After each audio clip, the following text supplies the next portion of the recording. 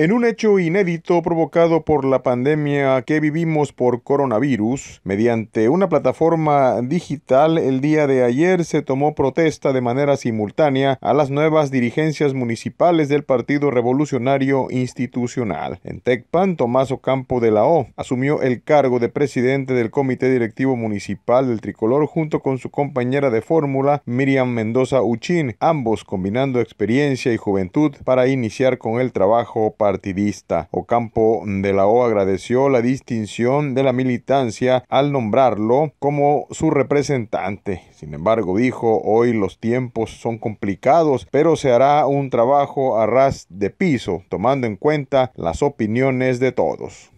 Ustedes primeramente ya saben de que cómo se llevó a cabo el proceso, precisamente por la crisis sanitaria que se está viviendo en el Estado y a nivel nacional. El partido tiene sus propios métodos de, elección del, presidente del comité directivo y de secretaria general. Ustedes ya fueron testigos de cómo se llevó a cabo de manera virtual.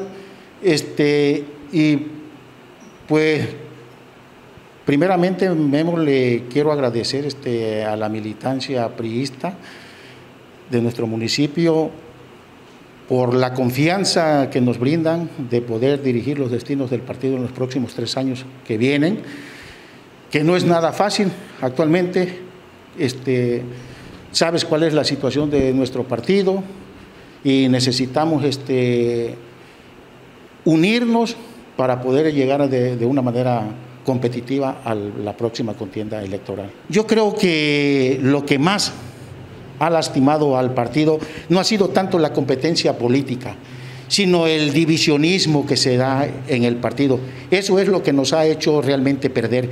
Si te das cuenta en la elección pasada para presidente municipal, el partido de manera individual salió adelante, ganó el partido del PRI, sacó más votos que todos los, los demás partidos. Desgraciadamente la coalición este, fue lo que nos hizo perder la presidencia municipal.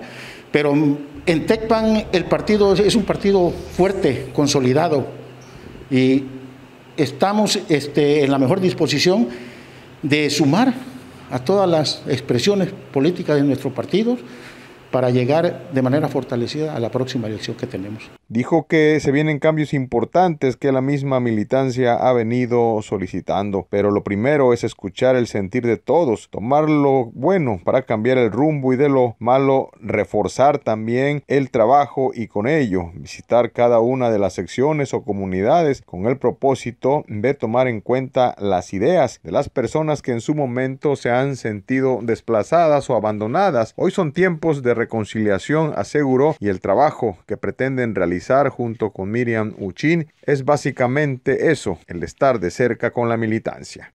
Con imágenes de Servando Mellín informó para Canal 6 Guillermo Hernández. CN6 Noticias.